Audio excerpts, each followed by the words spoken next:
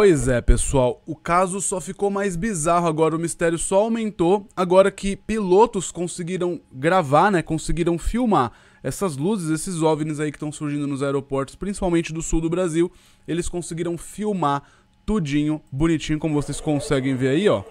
Eles conseguiram fazer essa filmagem e a gente chega na quinta noite consecutiva, né, bateu cinco noites seguidas aí, né, de luzes de objetos estranhos surgindo nos céus dos aeroportos do Brasil, sobretudo, né, no sul do Brasil, tá? Nessa noite teve mais, o mistério só aumentou e eu trago o bastidor para vocês. É bastidor que vocês querem, é bastidor que vocês vão ter, tá bom? O que eu vou mostrar é simplesmente surpreendente. Eu fiz uma coletânea aí, eu passei a tarde inteira hoje uh, coletando dados aí, né, imagens, vídeos, tudo mais, né, de novos avistamentos. Eu vou mostrar para vocês, né, novos avistamentos, conversa com torres filmagem feitas, né? A, a, filmagem que foi feita pelos pilotos de um voo da Gol, tá? E, como eu disse, informação de bastidor. Inclusive, temos notícias aí de que a FAB, né, a Força Aérea Brasileira, enviou um caça F5, enviou um F5 para tentar ir lá, né, onde estão essas luzes, tentar entender o que está acontecendo Richard, mostra tudo isso pra gente porque realmente é muito empolgante. Tudo isso é realmente muito empolgante, pessoal. Só não é mais empolgante do que uma coisinha, que é o like de vocês aqui embaixo, tá? Quem estiver gostando aí das nossas atualizações, não esquece, deixa o like aqui, assim o YouTube sabe que você gosta desse tipo de vídeo e vai te indicar quando tiver novidades, tá bom? Deixa o like, se inscreve no canal, caso ainda não seja inscrito ou inscrita, e ativa o sininho das notificações. Richard, mostra tudo aí pra gente. Vamos lá então, pessoal. Uh, novos avistamentos que a gente teve. O, esse vídeo que eu vou mostrar agora, eu vou pegar trechos aqui, que é do canal Aeroporto Salgado Filho BR Amigos, tá bom? Tudo que eu tô mostrando aqui, tudo que eu tô comentando, canais, inclusive, eu deixo aqui na descrição do vídeo o link para eles, tá bom? Então vamos lá. Uh, esse é um vídeo longo, só que tem alguns pontos ali, né, que mostram ali é, que, que que a gente consegue ver ali, né, ouvir no caso, a conversa de pilotos com a torre, né, com o centro de controle. Vamos lá então para o primeiro momento, que é aqui no 0021 aqui, ó. Uh, aqui, ó. Vamos lá então, eu vou rodar o play agora.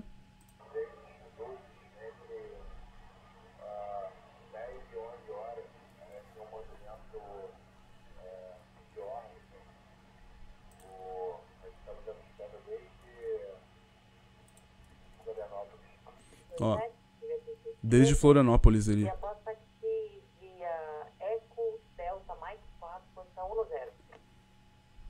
Ele informa ali que desde Florianópolis ele está anotando essas luzes.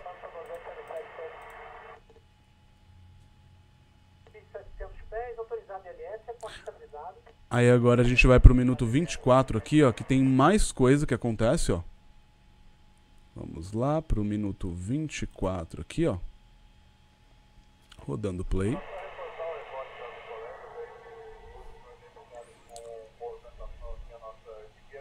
Ó, luzes à nossa esquerda. Três luzes não identificadas com movimentação. Ó, aqui tem uma novidade já, pessoal. Aconteceu em Torres também, no Rio Grande do Sul. Olha isso. Eu vou voltar aqui, ó.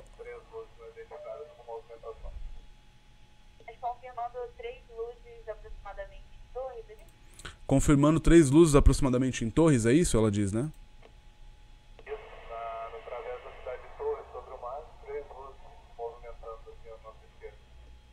Aí ele fala, né? No trajeto de Torres, ali sobre o mar, três luzes se movimentando ali à nossa esquerda.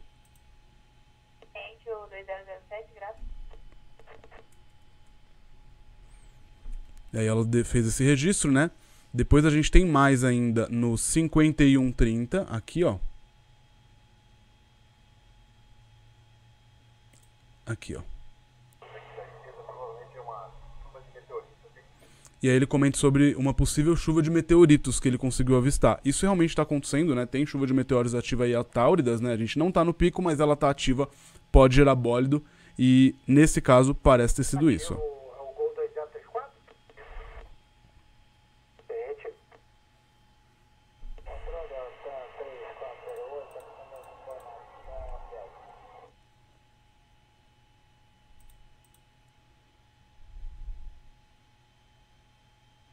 Tá aí.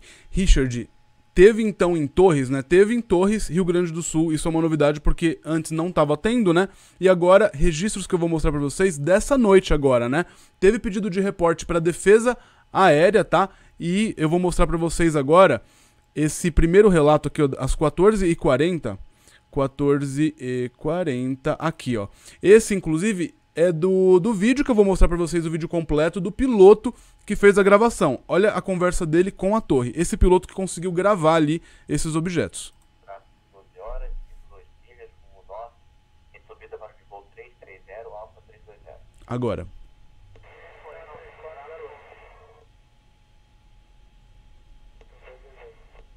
Ou na 228, confirma, o senhor reportou luzes na terminal de Porto Alegre?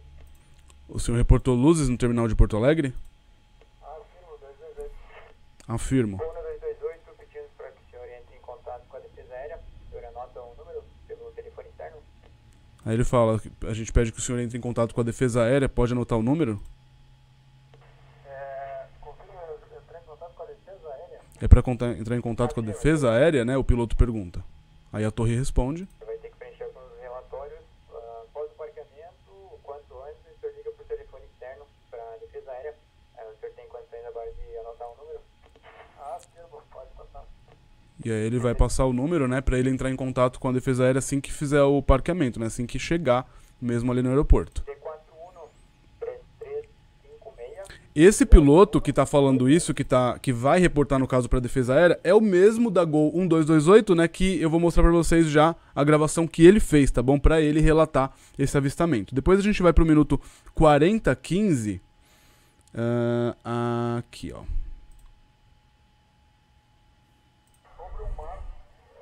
Opa, já foi, ó.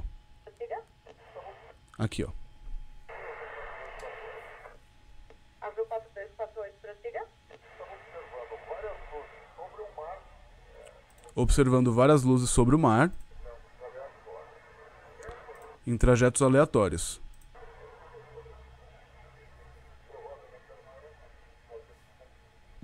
Aí Eu não consegui entender. Ciente o azul 4248. Ciente Azul 4248. Esse Aí já era um caso né, do voo da Azul. Né? Ele conseguiu observar várias luzes sobre o mar, né? Isso no minuto 40, a partir do 4015, tá bom? E no 56, alguém notou alguma coisa aqui também, né? Aqui. Isso talvez não seja nada, como também pode ser alguma coisa, né? Que está relacionada.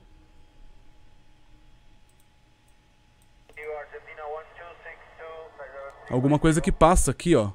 Reparem, né? Esse é o aeroporto Salgado Filho. Olha ali, ó. O que, de acordo com, com as pessoas aí que fazem esse, moni- esse monitoramento, não teria sido um avião. Isso que passou ali, né? Aí eu já não posso dizer pra vocês porque eu não sei, né? Não saberia dizer se aquilo foi ou não um avião. Mas aí a gente tem novidade, né? Então em Torres, também Rio Grande do Sul, teve avistamento. E em Joinville e Santa Catarina, no caso da- do voo Gol 1957, desde Joinville e Santa Catarina, essas luzes estariam ah, acompanhando, né? Relato do vídeo anterior, que inclusive eu fiz, quem quiser saber mais, né, sobre esses casos aí que estão acontecendo, vou deixar no cardzinho aí em cima. Primeiro vídeo que eu postei há dois dias atrás, ah, falou que tava vindo, né? Um voo que saiu de BH para pouso em Porto Alegre, né? Tava tendo essas luzes acompanhando, né, esse avião aí desde Minas Gerais, né? Então, isso já descarta muita coisa que a gente poderia, ah, sei lá, é balão. Um balão ia acompanhar um avião certinho, né? Desde Minas Gerais até Porto Alegre, não faz sentido nenhum, né? Outra coisa também, pessoal, piloto filmou, né? O piloto da, da Gol 1228. Eu vou mostrar pra vocês agora aqui uma dessas filmagens, tá? Essa é a primeira. Vamos lá. Ó, agora tá defumando aqui, ó. Pega a câmera aqui, ó. Tem uma mais embaixo. Ó, duas. Ó. Por aqui, ó. Aqui, ó. Ó. Tem uma outra aqui que surge. São duas, né? Sumiu, ó.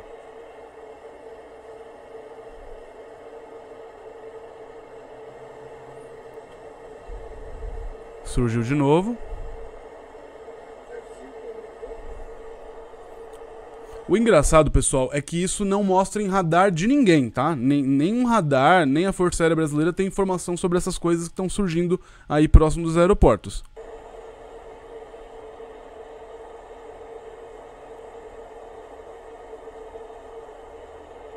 Aqui, ó.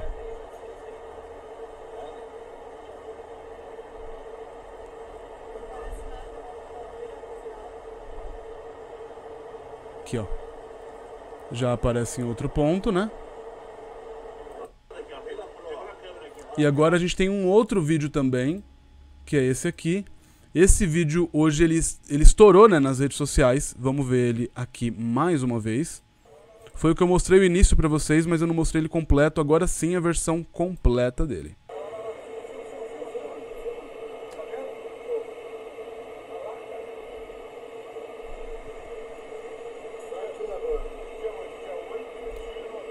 Dia 8 de novembro.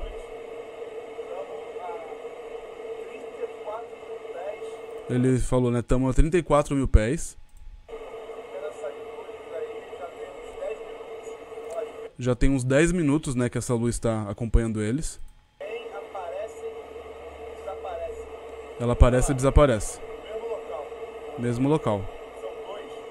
São dois. Também são dois. Sempre, né? Nunca ela tá sozinha, pelo jeito, né? Sempre que eles filmam, tem alguma outra, pelo menos duas, três. Teve um que relatou seis, né? Luzes, cerca de seis luzes aí girando em espiral, próximo de aeronaves também.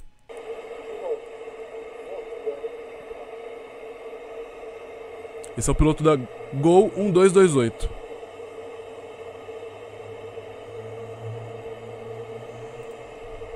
Ó, bem aqui, ó.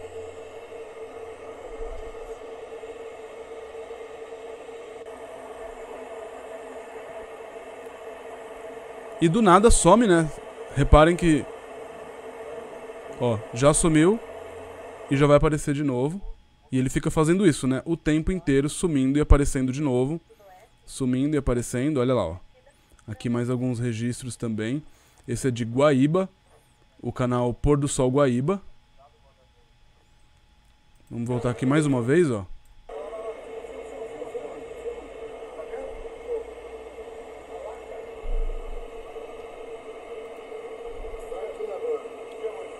E pessoal, vale enfatizar, né? Isso é uma gravação de pilotos mesmo, né? Eles estão acostumados a ver aviões, eles estão acostumados a ver helicópteros, eles estão acostumados a, a, identificar inclusive drones, né? Porque eles estão o tempo inteiro no céu aí, né?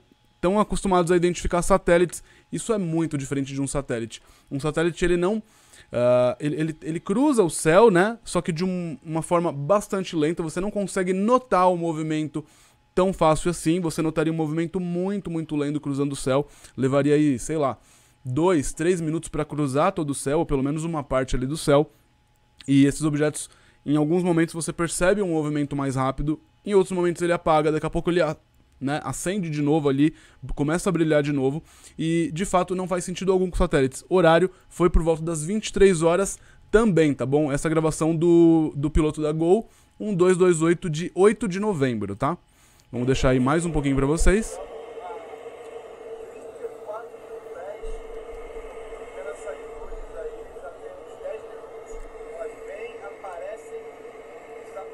Trinta e quatro mil pés. No caso, essas luzes elas estão um pouquinho acima desses 34 mil pés. Ó, já sumiu de novo. São dois, eles falam, né? Elas surgem e aparecem, já faz mais de 10 minutos. Ali, ó, já surgiu de novo, ó e assim permanece, né? Richard, eu quero bastidor. É bastidor que vocês querem, é bastidor que vocês vão ter. Eu vou mostrar agora para vocês, pessoal, um registro que ninguém mostrou ainda na internet, tá? A gente conseguiu da seguinte forma. Quem acompanha aqui o canal sabe que a gente acompanha chuvas de meteoros, né?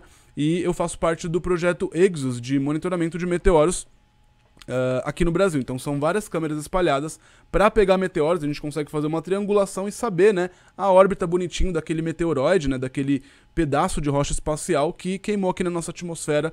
Aí a gente consegue ter uma trajetória boa.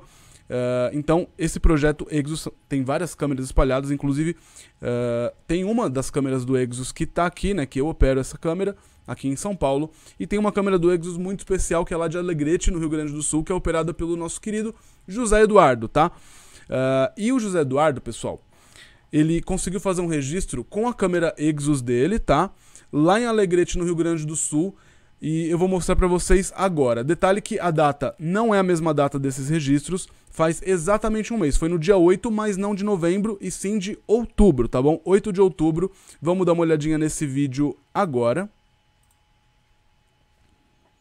Olha aqui, ó, aquele objeto ali que surge, ó. ó.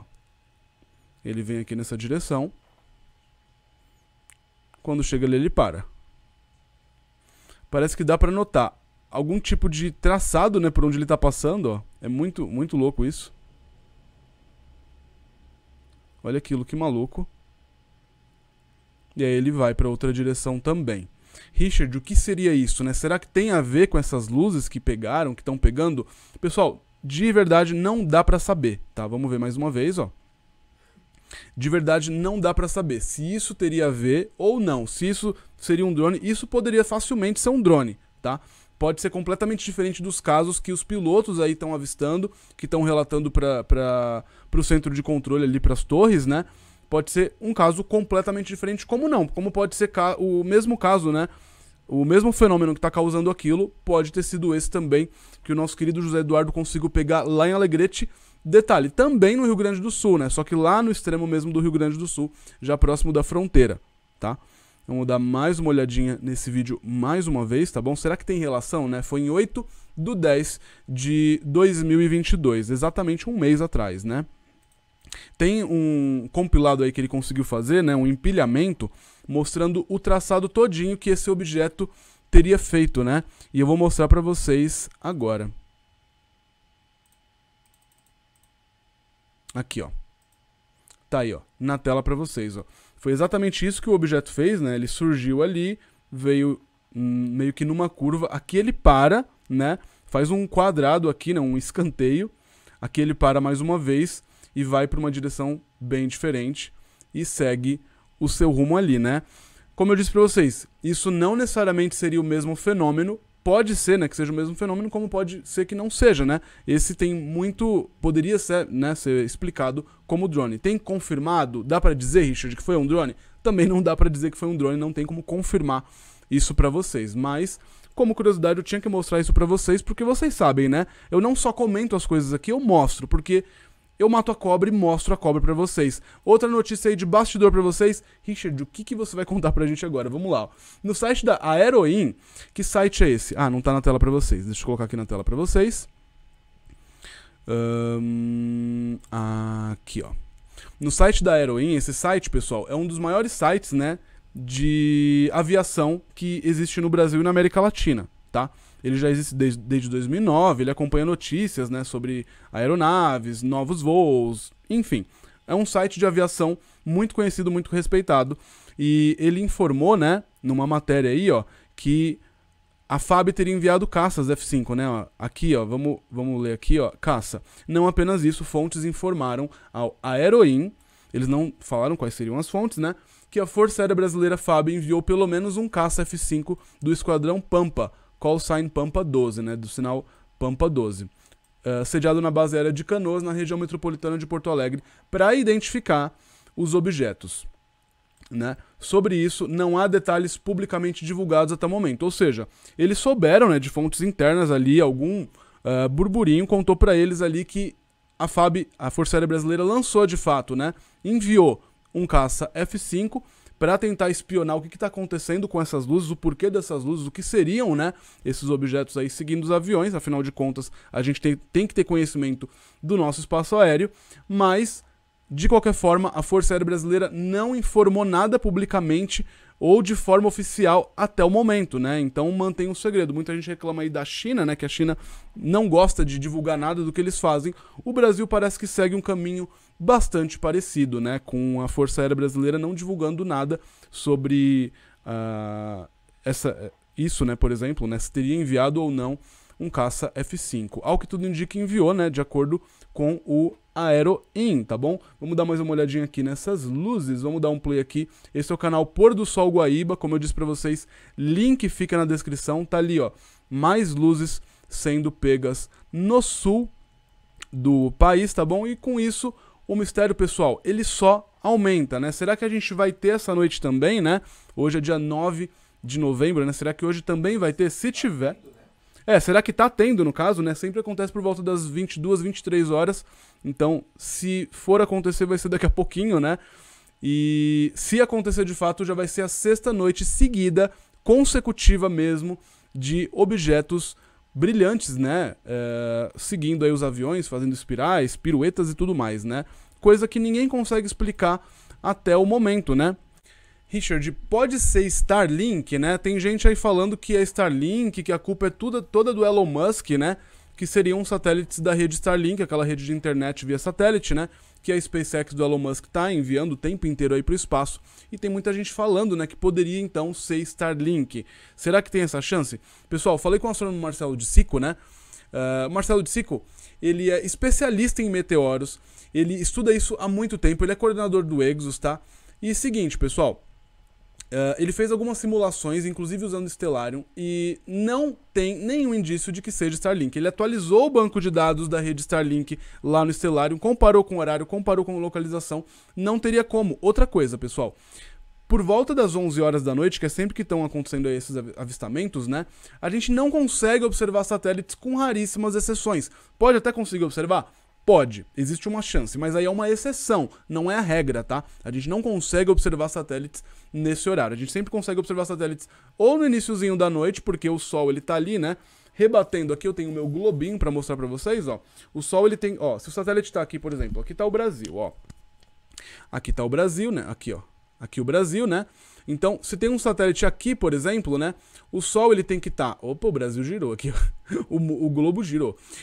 Uh, o Sol ele tem que bater de uma forma aqui, né, meio enviesado para rebater ali e conseguir iluminar o satélite que está passando para a gente conseguir ver ele no céu. O satélite não tem luz própria, a gente não vai conseguir ver ele do nada, né? Tem que estar tá o Sol rebatendo. Então sempre tem que ser ou durante o pôr do Sol, próximo do pôr do Sol, até umas 9 horas da noite no máximo, ou próximo do amanhecer, né, a partir das 3 horas da madrugada mais ou menos. Entre as 9 horas da noite e as 3 da madrugada a gente não consegue observar satélites. Como eu disse, até dá para observar, até dá com raríssimas exceções. São raras as exceções que até a gente consegue observar dependendo da altitude, do ângulo e tudo mais. A gente poderia conseguir ver algum satélite por volta aí das 10 horas da noite, até no máximo umas 11 horas da noite, né? A partir da 1 e meia da madrugada, 2 da madrugada, até daria para observar com raríssimas exceções. Não é o caso, porque a gente está falando de Starlink. Starlink tem um canal gringo aí, né? Vou deixar aqui na descrição também, que ele encontrou a resposta para algumas luzes que alguns pilotos uh, reportaram também lá nos Estados Unidos, tá? Só que de fato, aquilo sim é completamente diferente. Essas luzes elas conseguiram ser filmadas uh, por pessoas, por observadores que estavam em terra, tá? Eles conseguiram filmar e de fato mostra ali a luz, aquele pontinho, né? Passando, indo bem devagarzinho, cruzando todo o céu, exatamente como um satélite faria. Ele conseguiu bater ali com o banco de dados do Starlink e encontrou de fato era Starlink. Os casos que estão acontecendo no Brasil são completamente diferentes, né? Não foi um caso, né? Tá sendo toda noite de forma repetida, sempre por volta daquele horário que é quase impossível a gente conseguir observar qualquer satélite. Então, só se a, a, o que é exceção começar a se tornar o normal, que não é o caso, tá, pessoal? A gente tem um cone ali de sombra, né? Que a Terra está projetando, que quando é por volta aí, né, do alto da madrugada, né, no, no caso a partir das 9 horas da noite mais ou menos, 10 horas da noite com certeza, até 2, 3 horas da madrugada, os satélites eles passam por esse cone né, de sombra da Terra, então não tem como a gente conseguir ver eles, ainda mais com o brilho desses que a gente consegue ver nesses vídeos, tá? Então, uh, aqui a gente consegue ver mais, ó.